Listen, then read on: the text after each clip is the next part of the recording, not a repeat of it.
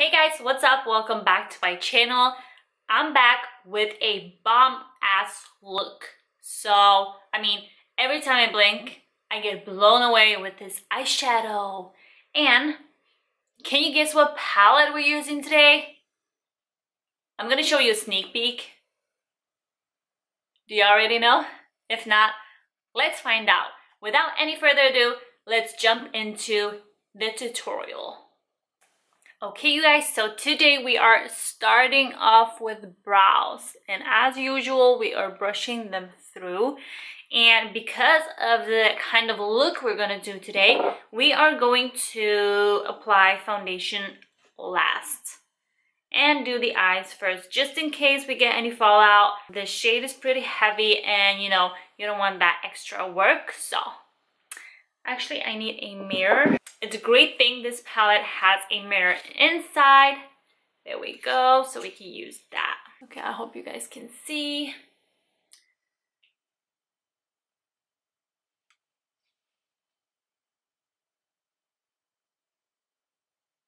Like, I feel like I need to step up my brow game.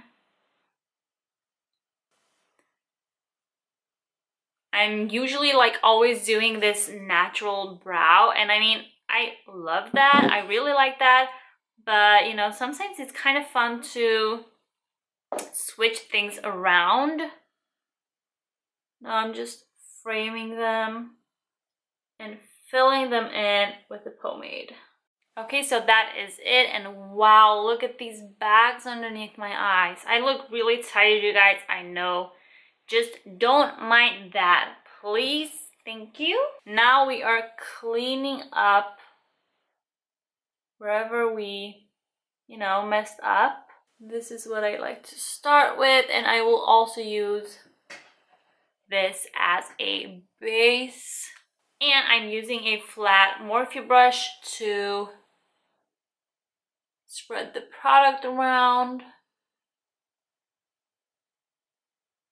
Make it look nice and even. Now whenever I have not self-tanned and have not put any foundation on, the concealer actually looks almost a little bit darker than my skin tone or like really similar to my skin tone.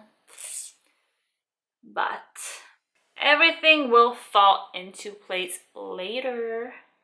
And for this, it is nice if you have the brushes really thin at the at the end. And that is really helpful when you want to like come and clean up the very edges. Then at the very end I like to take the spoolie again and just brush them, brush them through one more time to get rid of the harsh lines. And there we go a nice clean natural brow Okay, you guys, so once we got that under control, I like to take some setting powder. And because we used concealer on the lid, I take some of my Makeup Revolution setting powder and I am setting my eyelid with it. Why are we doing this? Because we don't want any creasing. There we go. You see this slightly yellowy undertone and it is because this is a banana powder. It's not a translucent setting powder. Okay, I am gonna go into this shade called Necessary and add that to my crease. And I'm not gonna add a lot, just a little bit definition. And if you feel like, I mean, this blended really nicely, but if you feel like you got like too harsh edges, then just pick up a clean blending brush and go over the edges and just blend, blend, blend and keep blending and it will all blend beautifully. While I'm at it, I'm gonna pick up a tapered brush and into that same shade and add it to my lower lash line as well. Hmm, I'm a little bit unsure no, I'm gonna go in with the beautiful blue shade, this one called A Moment, because let's take a moment to appreciate it. In some lighting, it shifts purple, and oh my god, it is so beautiful. And this is just so beautiful. I mean, it is so blue. You don't even need like a base, like a blue base to make the shade really pop. I really like that. Now I'm picking up a tapered blending brush and going into that same blue shade to buff the edges out. I'm gonna go in a little bit with churro. Now I'm taking that small tapered blending brush again into Game Over. And with Game Over, I'm just really gonna focus this to the outer part of the eye. Maybe a little bit up to the crease as well. Now I'm just gonna go back to the blue shade with the flat brush and pack the product onto the lid once again because I actually blended some of it away. And as you see, we have a really, really small fallout situation going on. So it's good we waited with foundation, but you know, it's not that messy. I mean, I love the formula of these eyeshadows so freaking much.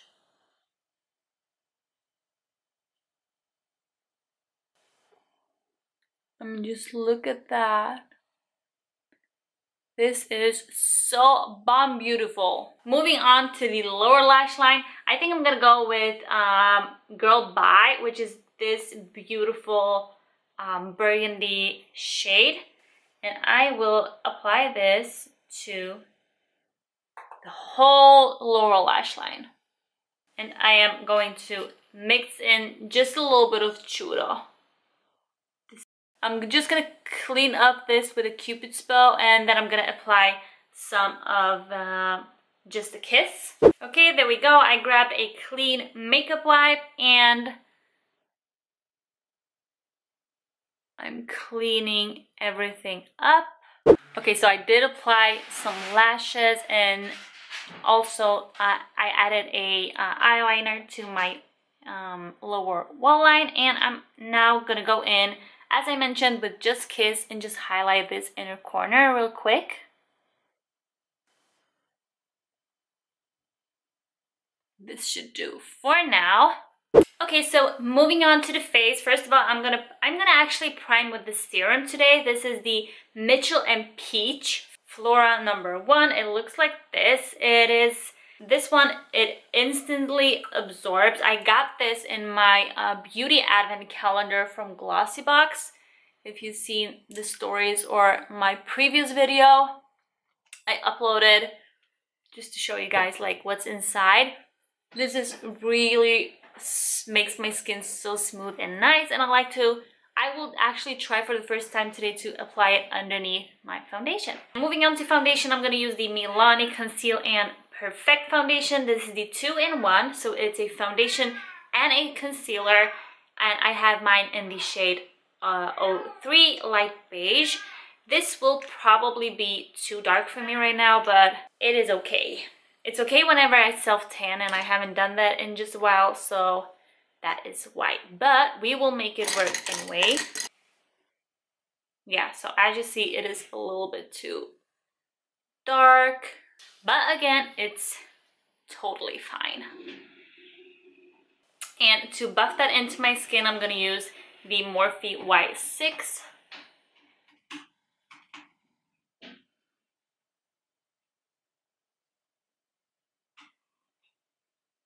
This brush is really soft and nice, gentle to your skin. There we go. And for concealer, I'm going to use the Fit Me Concealer by Maybelline. And I have Two of these, I have one in the shade 20 and one in 10. So I'm actually going to do the 20 over here. Then I'm going to go in with 10.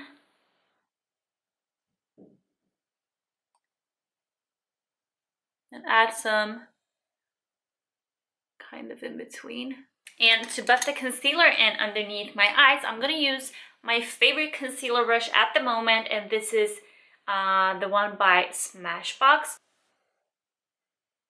There we go and now we are going to set that place and I'm gonna use the banana powder everywhere else but my under eyes. I don't like this powder very much for that. So for the under eye area, I prefer the Laura Mercier Translucent. So that's what we're gonna do. Okay, so moving on to bronzer and contour, I'm gonna use the Maybelline Bronze Palette. This is a warm toned palette. I really love the blush in here and the powders are okay. It sometimes uh, can tend to end up a little too warm, like a little orange. But for today's look, it is okay.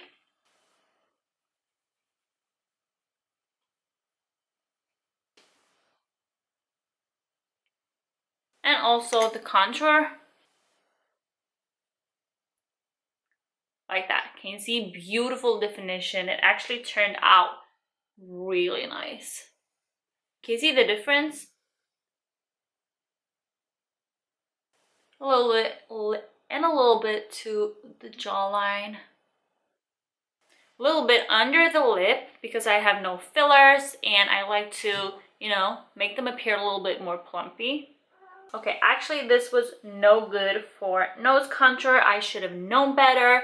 This has a shimmer to it so it kind of just looks crazy I have to say. But let's see if we can fix that. Picking up a clean kabuki brush to blend this out. And I wanted to do everything with just one palette, but I realize now that I will not be able to make this happen. So this is no good for a nose contour. Other than that, it looks really, really pretty. So let me just go and grab something else for the nose and I will be right back. Okay, so there it is, Makeup Revolution palette. And for the nose, I'm gonna go in with this shade right there. I will mix with a little bit of this one because I just feel like that will be the perfect thing to do. And for that, I'm gonna use a blending brush actually.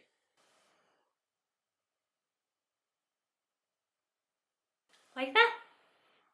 Moving on to lips, guys, because we are about to be done with this look. So for lips today, I am going to use a nude combo. First of all, I'm going to use the NYX lip liner. Okay, so this is a lip liner and an eyeliner eye brightener in one. The shade is medium 02. And this is also a small hack to make them look bigger later. The lip color today I'm using the Melted uh, long wearing lipstick from Too Faced. This is in Chihuahua. I really enjoy the scent of this. And also the applicator, it's really nice. maybe it's not too dark at all. I think this will um, dry down a little bit darker though. So I still will go in with this lipstick from Maybelline. This is in the shade 710. Just a nice ombre effect. And of course, the last but not least step is the highlighter. There we have it. Today we're using Master Chrome by Maybelline. I love adding this to my forehead as well. That looks so good.